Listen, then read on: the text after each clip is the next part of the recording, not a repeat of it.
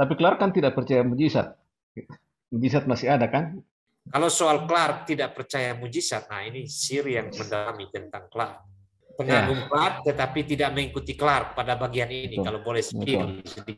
Memang Clark tidak percaya mujizat dan dia masuk dalam golongan yang dalam kekristenan disebut cessationist.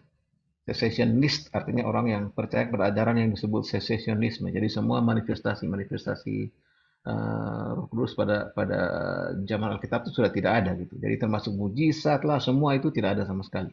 Jadi kalau ada orang mengklaim mujizat itu pasti omong kosong, itu pasti tipu-tipu. Um, tapi oke okay lah dalam dalam sesesionisme itu sendiri ada ada spektrum. Jadi ada yang terima tapi X, ada yang terima tapi Y. Gitu. Jadi ada ada ada ada ada, ada spektrumnya sendiri dan Clark termasuk dalam spektrum yang sangat ekstrim ya. Uh, tapi kita harus belajar bahwa kita boleh boleh mengagumi satu orang, tapi tidak berarti bahwa kita harus setuju dengan semua pandangan dia, gitu. dan kita harus melakukan itu, gitu. Kita sebagai orang Kristen harus melakukan itu.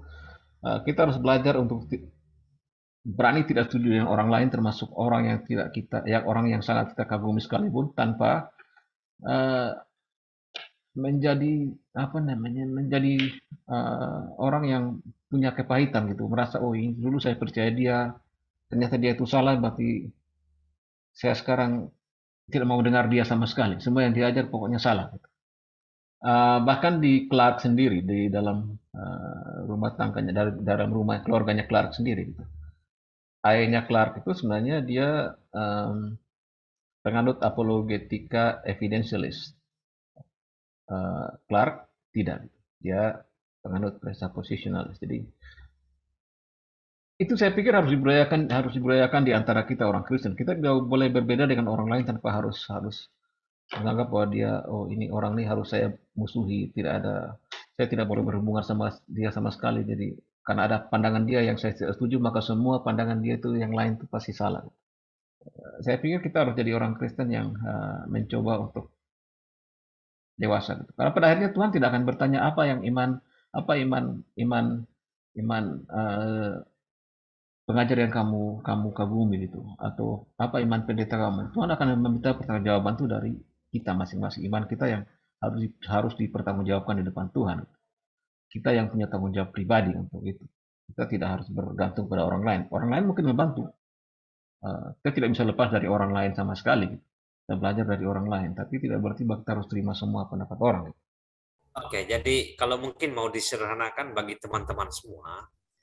Ya, tentu ada pandangan Clark yang tidak disetujui, hmm. ada yang disetujui ya. Hmm. Nah, mari kita belajar dari orang, kita ambil yang memang ini apa dengan kita ya, dalam tanda kutip ya, cocok dengan hmm. kita. Yang hmm. tidak, atau yang kita anggap tidak ya sudah biarkan saja. Hmm. Tapi tidak berarti hanya karena sebagian hmm kemudian kita anggap salah sudah semua. Ini jadi hmm. pars pro toto, ini juga kesalahan totem pro parte. Yes, yes, yes, yes. Karena ada kesalahan tertentu atau mungkin tidak bisa diterima pada pandangan tertentu, terus ya sudah kita sudah mungkin black semua, blacklist semua. Blacklist semua. Saya juga kadang-kadang dulu begitu. Jadi ketika hmm. lihat ada orang yang saya sudah kagumi selama ini bikin satu kesalahan, salah sudah semua dia. langsung patah arang. Ya, patah arang. Padahal sebenarnya yang ini apa yang kita gumin sebenarnya ada baiknya di hal yang lain. Cuma yeah. karena sudah baper istilahnya kan. Hmm. Terbawa perasaan akhirnya terlanjur kecewa akhirnya semua itu dianggap salah dari kesalahan yang kecil. Nah ada juga hmm. sebaliknya kan Sir ya. Iya iya. Ya. Ada orang yang oh dia sudah pasti dia reform nih misalnya. Hmm.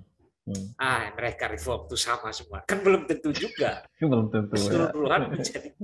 Nah ini kita kita memang harus apa ya berani eh, belajar menempatkan diri sebenarnya sih ya. Hmm. Hmm. Menempatkan diri untuk hmm. belajar apa pun ya. yang kita bisa terima terima yang tidak bisa kita terima ya hmm. sudah kita pakai dari yang lain. Dan ini itu penting. Juga dengan ini apa sih kalau mungkin biar teman-teman juga kesalahan logika informal yang dulu itu ya. Oh iya betul. Uh, yeah. uh, praise at hominem ya. Praise at hominem ya. Iya. jangan menganggap kalau misalnya saya dengan Sirkuro pengagum Clark terus hmm. kita tidak lagi apa namanya Kritis. serius memperhatikan atau mengkritik Clark. Hmm. Nah, hmm. hanya karena mengagumi tidak, tidak begitu. Kalau di kalangan anak muda sekarang itu kalau sudah terlanjur suka dengan satu artis ya, maka artinya tidak boleh dibicarakan jelek. Harus bagus. Selalu saja ada pembelahan. Kalau ada disebutkan poin-poin tertentu yang jadi kelemahan, ah itu kan haters